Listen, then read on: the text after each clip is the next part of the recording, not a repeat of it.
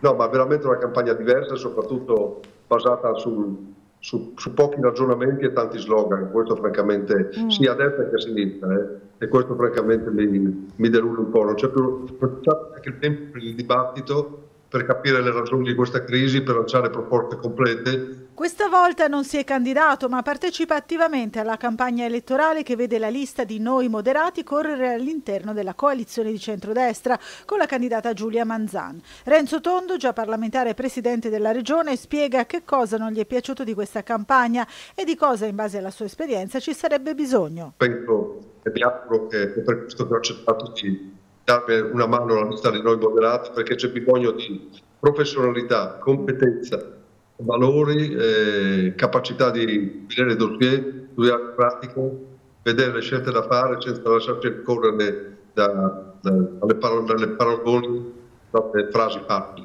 E sulle spinte anti-europeiste che caratterizzano molti movimenti politici, Tondo fa una riflessione. Eh, secondo me siamo ancora una grande potenza perché abbiamo un sistema manifatturiero molto alto la crisi c'è dappertutto, andate a vedere un po' com'è la situazione in Germania, po' a vedere, prendete l'auto, fate, attraversate l'Austria che inizia poco, andate a vedere pochi consumi, negozi chiusi, cioè la c'è un po' dappertutto, anche se hanno stipendi più alti, ma la qualità della vita minore.